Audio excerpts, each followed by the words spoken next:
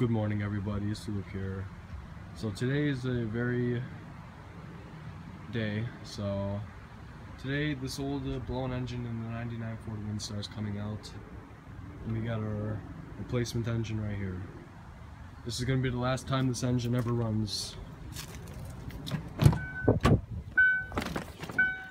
It does still start, it's got a hole in the engine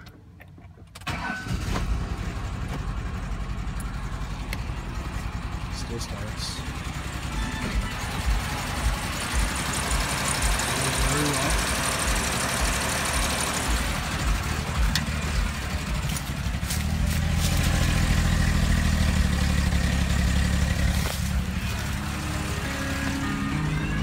This is it for the 99 Ford Windstar with the blown engine. Soon this will have a good working engine in it. Alright, here we go.